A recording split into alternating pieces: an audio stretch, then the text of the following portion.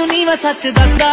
ਤੇਰੇ ਕੋਲੋਂ ਆਉਂਦੀ ਗੁੱਡ ਵਾਈਬ ਸੋਣੀਏ ਤੇਰੇ ਡੈਡ ਕੋਲੋਂ ਤੇਰਾ ਹੱਥ ਮੰਗ ਕੇ ਤੈਨੂੰ ਮੈਂ ਬਣਾਉਣਾ ਮੇਰੀ ਵਾਈਫ ਸੋਣੀਏ ਓ ਓ ਓ ਸੇ ਯੈਸ অর ਨੋ ਕਿ ਮੇਰੇ ਨਾਲ ਵਿਆਹ ਕਰੇਂਗੀ?